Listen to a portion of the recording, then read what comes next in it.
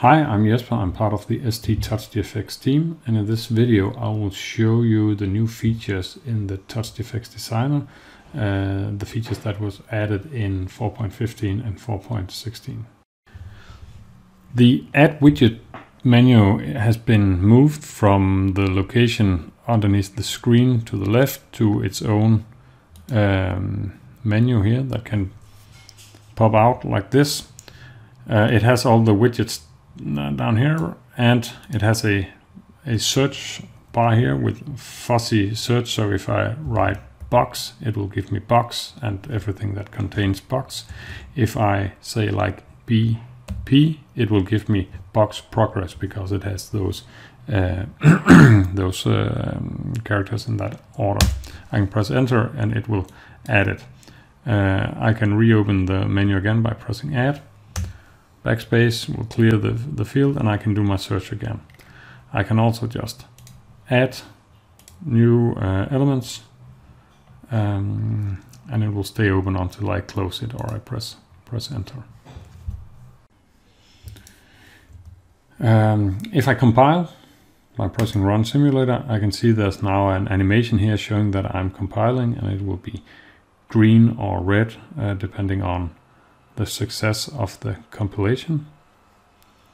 Um, I can press the bar here and it will open up a, um, um, a description field on, on the progress of my compilation.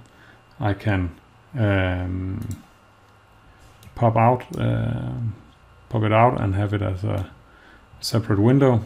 I can dock it again and I can I can close it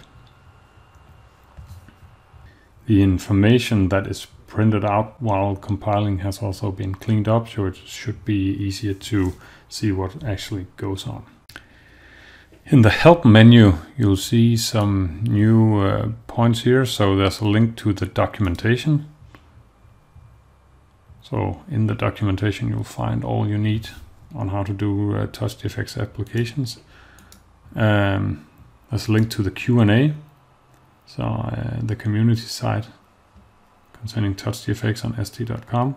Here you can find a lot of discussions on, on interesting things and you can post your own um, questions as well. Uh, we also have a page for uh, requesting features.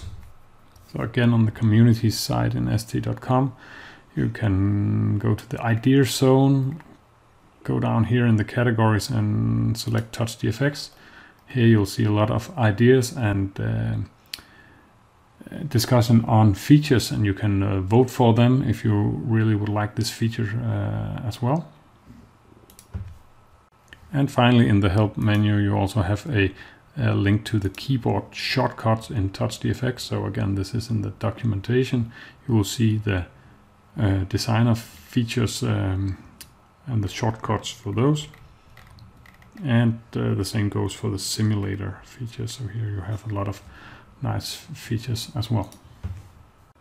A final small feature that I would like to, to mention is uh, this center canvas uh, shortcut. So if you have been playing around and doing various things uh, with your canvas and you would like to center it, you can press here and it will be in center again yeah, that was all from me. Hope you enjoyed this video on uh, improvements to the uh, TouchGFX Designer in 4.15 and 4.16.